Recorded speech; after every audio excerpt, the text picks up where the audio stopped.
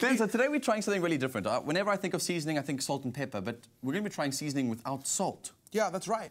And a lot of people don't actually know this, but you don't need salt only to season your food. Okay. Yes, salt plays a very important role when it does come to season your food, but there are other ways to season food as well. Okay, but other ways to get sodium or other ways to remove it completely? No, other ways to enhance flavor Without in the salt. food that you're currently in, that you're Okay. eating, whether it be vegetables or meats. Teach me a wise one. Teach you. So, can you pass me my green bowl over there? Yes, you can. One great It's way to see-through bowl, add- but okay. It's green stuff in it.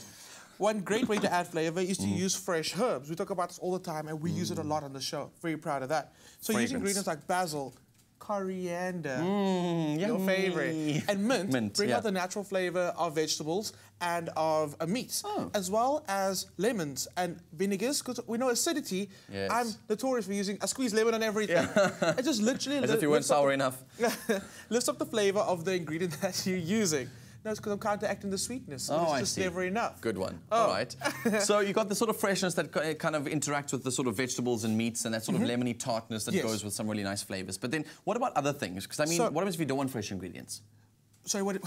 No, if you don't want fresh ingredients, like you want to go with the dried stuff. Spices. Spices. But before I get to that, let me just explain. Oh. Mm-hmm. We do need salt, right? Your body needs salt. It's, it plays a very important role in your body, so it's important to still have it, but to understand how much. And on average, you should be consuming five grams of salt a day. Okay, but in like real terms, how in much real is five terms, grams? great. So what I thought about is how many twists out of a grinder. Okay. A lot of us use that at home. Yes. So it averages between 12 and 15 grinds a day, which sounds like a Oh, lot. that's a lot. It sounds like a lot, but actually, if you think about when you are seasoning your food, right? Yeah. But what about the hidden salts and everything else that you consume throughout the day? Oh, True that, So you need to be aware of how much salt you're actually taking in every day. Mm-hmm. But I'm talking a lot right now, which is fun, but let's start cooking. Okay, cool. Deal. So we spoke about the fact that spices play a really big role Mm. in seasoning foods. And because of the spices used, you can actually reduce the amount of salt that you're using in a recipe. Okay. So Dan, I'm gonna ask you to carefully place these salts, um, these, These spices. into this beaker over here for Oh, me. But let me first explain what we got okay, here yeah. today. Because you said carefully, and I'm already worried, so I'm going to prepare myself. Okay. It's okay, you've got this. So you've got some chives. Chive add, chives add an immediate savory flavor to food. So that works really well. Because it's dried, it's got a nice warm flavor to it, or aromatic note to Yes, it. okay. And then we've got some oregano, Yum. some black pepper, Yum. onion powder, Oh, wow. I didn't know that was even a thing. That's It's a awesome. thing. Okay, it's more concentrated, I would assume. Yeah.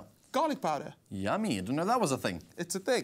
And I've got some lemon zest and some lime zest. We can use either or. Bitterness and that sort Yeah, of acidity again. acidity. And I just dried it out in the oven for a little bit. And over here, something very interesting, which you probably haven't seen, celery leaves. Ah. And I've made these myself, and I'll show you how in a bit. Parmesan, naturally salty already. Yes. Mustard powder and smoked paprika. Okay. So all these are going to make a beautiful seasoning for us that is salt-free. But seasoning for what? Is it for meat? For We're going to use it chicken? for some meat, fish? and later in the second part of the cooking, we're going to use it to season a salad. So Okay. Dan, into the beaker it goes. So let Can me I borrow a spoon from that- you over there? There's a spoon that side.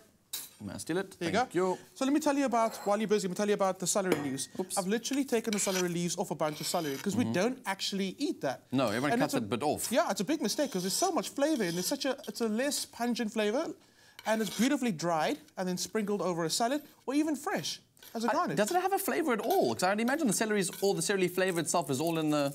Oh no, he's going to make me eat a piece of celery. That's in crunchy as well. Oh, it's almost got a smoky taste to it. Mm. Exactly. And that adds beautiful flavor to your seasoning and to any other seasoning. You got a little bit of... Celery stuck there. So all I do is I pop it into a pestle and mortar. Gosh, this is actually a lot more time consuming than I thought it was going to be. Like, how hard is it to throw a whole bunch of spices into a, a glass beaker? My word. Without messing. Sheesh. So uh, all I do is pop those dry celery, celery leaves in an oven. Oh, sorry, first they not dry. Mm-hmm. It was into an oven um, and let it just dry it for a little bit, and then just you know, pound it down, and you get a beautiful sprinkle, which okay, is so what we have. you over there. basically have inside here. So that's how you've done it. It's very simple, actually. Really simple, really simple. Do and not waste. don't waste at all. So what happens is this goes into an airtight jar, and it will literally keep for as long as you need it. I mean, the, the parmesan dries out as well, so don't worry about that going off. Lovely. So, It's as simple as that. Mm. For our dish today, we're going to be making some beautiful hake Mm-hmm. seasoned with our seasoning. So a little bit of olive oil down. Let's start with that. Cool. I mean, uh, we know olive oil is really good for you. It also helps obviously bind all the agents together. So if you want your spices to stick on um, and also absorb all that flavor, the oil will absorb a lot of Mm-hmm. the flavors that are in powder form. And then all I'm going to do Pour that over. is just drizzle that over. Oh, yummy. That much? Wow. Okay, cool. That was an accident. Oh. Shot for highlighting that. I was like, sure, Let me just sprinkle before before someone just highlights all my thoughts on live national TV. okay, so That's then amazing. you're gonna rub that in, and you're gonna pop this in the oven. I've done it skin side up, so the skin will become nice and crispy itself. Yeah. And literally after 15 minutes, you can have beautifully, beautifully cooked, Beautifully. Beautifully. Beautiful-free. it's going to be beautifully cooked fish. What's up with you highlighting all my so funny. today? Oh my gosh. I must You're say, so well poised that they step in the kitchen. You're like, hey, party.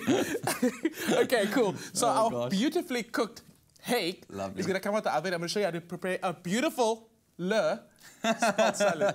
I'm super excited for this, but I honestly think cooking without sodium and without salt is quite a difficult task. I, I Yeah, won't lie is. to you. I think it's in everything that I know of. So kind of, um, I'm finding this quite a challenge to think about what else I would do to make like a sort of spice out of. And I know that we, I think we should challenge South Africans to try and make recipes that have got lower sodium in it than they would normally. You know- should we give away know- a prize? Yes, I will. Okay, how about Oh. a 500 rand voucher from Woolies? I no, think no, that's no, a cool no, thing. Do you think we should give away a 500 rand voucher? No, a thousand rand. A thousand A rand thousand voucher. rand voucher. If you comment on our Facebook post telling us what recipe you can come up that uses a little less sodium. You know what? Two thousand rand. 2,000? rand- This is like you- you like- 2,000 rand. Woolies food voucher. If you can Clem, send us you know this show's recipe- actually going out live. You are you allowed to say this? I'm saying it now. Okay. Two thousand rand. 2,000 Rand voucher. Okay, if you guys want to head over to our Facebook page right now, uh, go and find a little post there that's got our competition details on it. You can win yourself a 2,000 Rand Woolies voucher if you tell us about a recipe that you can create that is low in sodium, lower in sodium than it would be normally. Be as creative as you can, and I think the most creative post will win themselves that 2,000 Rand Yeah. voucher. Well, you've heard it here on Afternoon Um, Express. you yes. two thousand rand for me, please. Awkward, yeah. I don't know how we're going to come up with that money. We better go run to busking and start making some money on the streets. Let's ask all the crew. Anyone? Anyone? No one? No one's got money for us. All right, ladies and gentlemen, if you want to get the recipe for our incredible spice that we've made on the show, do not use that in the competition because that's already our recipe. Uh, you can get it on your mobile device by SMSing the keyword SALT to 33650. That SMS will cost you 150 and your free SMSs do not apply. And if you want to know how we put that entire spice together, take a look at this.